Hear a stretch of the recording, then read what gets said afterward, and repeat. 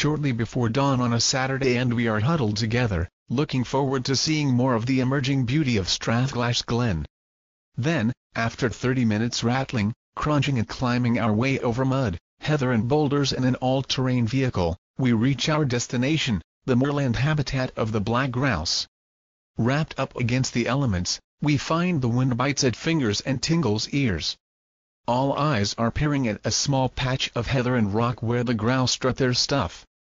The lekking ground is where black grouse males charge at each other in a psychotic dance that's all about establishing a mating pecking order. Just before the sun comes up, a single grouse flaps noisily past our group. We've been rumbled, and there will be no tail feather tango this morning. A lion squandered? Far from it.